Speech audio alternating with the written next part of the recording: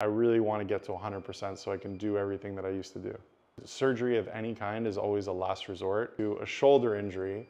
And this has been like a year since I've had an injury in my shoulder. So Sorel is a professional poker player.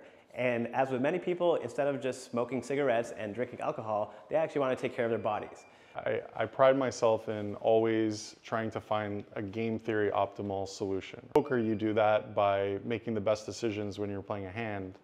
Um, in this kind of thing, like I'm looking for the thing that's going to solve the problem in the most efficient and the most safe way. That brought me to explore stem cells. Like from what I've heard about it, from what I've read about it, it seems like the most non-invasive and also the most efficient and effective way of, of healing this issue.